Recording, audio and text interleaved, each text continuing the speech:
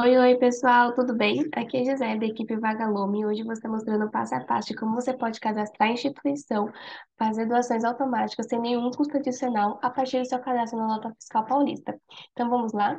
O primeiro passo é entrar no portal.fazenda.sp.gov.br, como mostra aqui na tela, e clicar em Acesso ao Sistema você vai ser direcionado para esta página. Aqui basta você completar com seu CPF e a sua senha normalmente. Caso você não possua cadastro na Nota Fiscal Paulista, não tem problema nenhum. Basta clicar em Cadastro de Pessoa Física, completar com seus dados e poderá também realizar suas doações, tudo bem? Logo depois vai ser direcionado para esta outra página.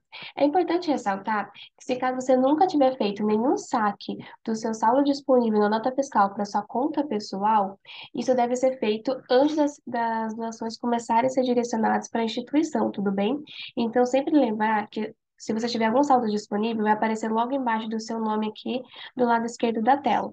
Então, é importante fazer esse saque na sua conta pessoal e logo após os seus cupons serão direcionados para a instituição, tudo bem? Então, vamos cadastrar a Vagalume agora como uma das instituições de escolha.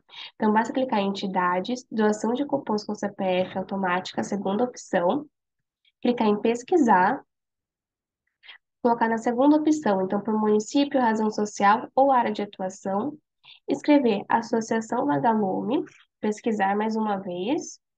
Aqui já vai aparecer, então só avançar.